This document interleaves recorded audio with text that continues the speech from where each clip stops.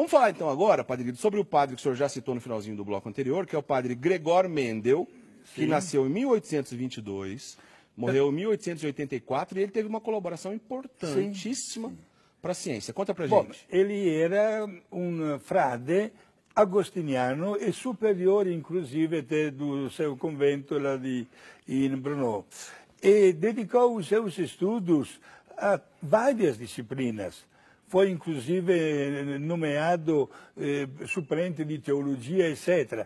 Mas, veja só, ele adorava passar algumas horas meditando no jardim, na horta, na horta do Certo. convento, do mosteiro. Foi aí que ele começou a cruzar ervilhas, veja só.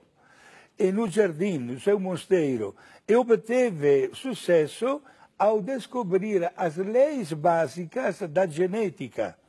Ele estudou a herança e a característica única e contrastante, apresentando exatamente as leis que depois seriam reconhecidas né, da hereditariedade de, de, de, do- dos fatores dos genes. Por isso, um nome que deu uma importância extraordinária, na hora também ele, como Galileu, ninguém reconheceu o merecimento, né? Mas depois a ciência encontrou esses documentos e deu plenamente razão a este padre Gregório Mendel. Então, esse sacerdote austríaco, que era meteorologista e era botânico, né, esse monge agostiniano, bota pra gente a foto dele aí, diretor. Padre Gregor Mendel. Ficou conhecido como pai da genética, tá aí, ó. Então, os estudos de genética, até hoje, isso não estou dizendo só dentro da Igreja Católica. Isso vale para o mundo todo, para qualquer aspecto da ciência.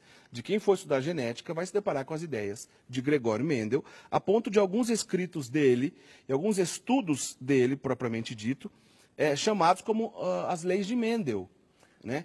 O nome dele está ligado ao estudo de genética, ele é considerado o pai da genética, esse importante cientista. Então, o padre Gregor Mendel. Outro dia, eu tava, eh, uma palestra que eu estava fazendo aqui na cidade de Campinas, é, a hora que eu terminei, uma, uma, uma menina que estava na palestra veio falar comigo, olha, eu estudo biologia, eu já ouvi falar muito sobre o Gregório Mendel, só que eu não sabia que ele era padre.